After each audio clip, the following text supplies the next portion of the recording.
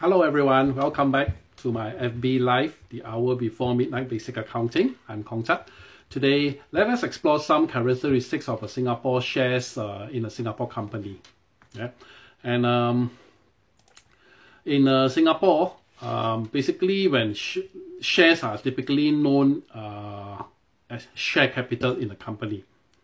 Yep. So share capital is basically the money invested in a company by share by the shareholders, and the share capital is actually a long-term uh, source of finance.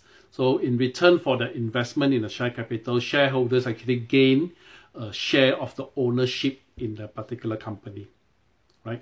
So uh, shares are known as share capital in the company. So what are the few characteristics in the of a share capital? Now, Singapore law requires all companies to uh, maintain share capital throughout the life of the company.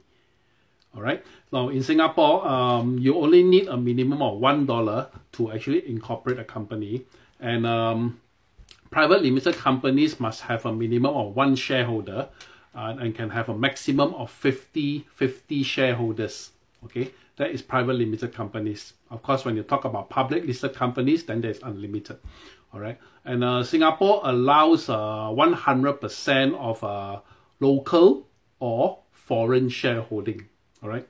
So um, in, whereas in some other countries they may not allow 100% shareholdings uh, of a foreigner for example in thailand i think the maximum they allow is only up to 49% all right?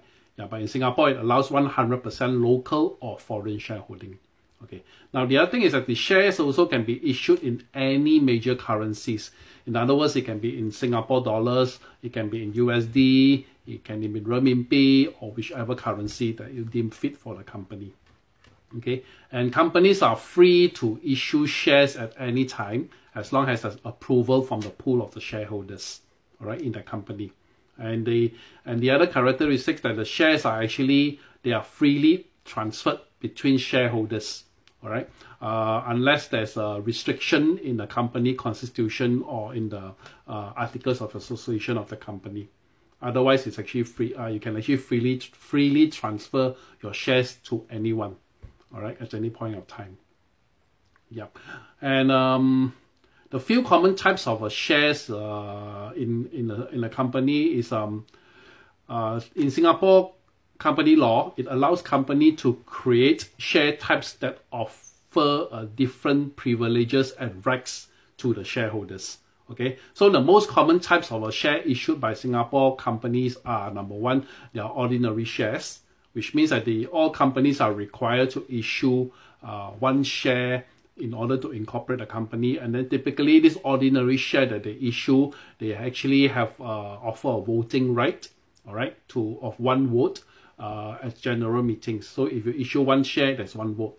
All right. If you issue 10 shares, there's 10 votes. So depending who owns the share. All right and also the the ordinary shares have the right to dividends when it's being declared by the company all right and uh, and also have the rights to claim the remaining assets when the company is wound up that is the characteristic of ordinary shares all right now um, in terms of the other type of shares it's actually there's also such thing called a non-voting shares all right a non-voting shares is unlike uh, ordinary shares. They are non-vote uh, non-voting shares uh, do not give the shareholder the rights to uh, vote in a general meeting. So they have no voting rights all right and these typically are being issued to employees or the main shareholders family members all right so this is what they call non-voting shares and the other uh, types of sharehold shares is basically the preference shares all right preference shares so preference shares preference shares in general, uh, uh, preference shares actually give a actually in general they are have a special rights over ordinary shares. They have a special rights with respect to dividend payments. Okay, uh, for example, a company may choose to issue dividends, preference shares to preference shareholders first before issuing to the ordinary shareholders. That's why they're called the preference shares. All right. So uh, those who hold a preference shares typically they have the rights to uh, to the dividends first before the remaining balance can be issued to the ordinary shares. And uh, the other other characteristics of a preference shares is also that um, they may have a right to claim the assets of a company uh, over the ordinary shares, which means have the uh, preferred right, all right, than the ordinary shareholders. And uh, in most, but however, in most cases, preference shares they don't have any non. They basically they are non-voting rights. Basically, they cannot vote in a in a in a uh, general meeting. All right, uh, they have preference to certain things, but they are not able to vote in a way. Okay, yep. So and the the the other type of shares is called a redeemable redeemable shares. Normally, a redeemable shares uh, is issued with the condition that the company will buy back the shares at a future date. Okay, so one advantage of uh, issuing redeemable shares is that it gives a company flexibility um, to actually buy back the shares at a later date because uh, companies can also sometimes buy and sell stocks like investors, right, uh, for certain strategic reasons why they're issuing uh, redeemable shares. And of course, um, the next type of shares, they also have called it a redeemable preference shares. Basically, just now we have explained about the re redeemable shares, the characteristic of it, and what is preference shares. So a combination of redeemable preference shares is basically the, all the characteristics within that are included. Okay, so and redeemable redeemable preference shares are issued on the terms that shareholders will at a future date uh, be repaid of the amount they invest in the company. All right, so typically that is the case.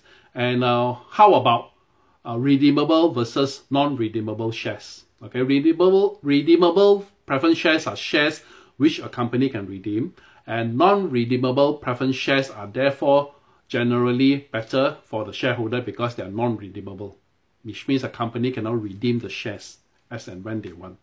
Okay, so the shareholders on a non-redeemable preference shares will be more secure in a way. However, it's still possible that such non-redeemable shares be subjected to buyback provisions at a later stage as set out in the company's shareholders agreement. So it's on a case-to-case basis. Okay.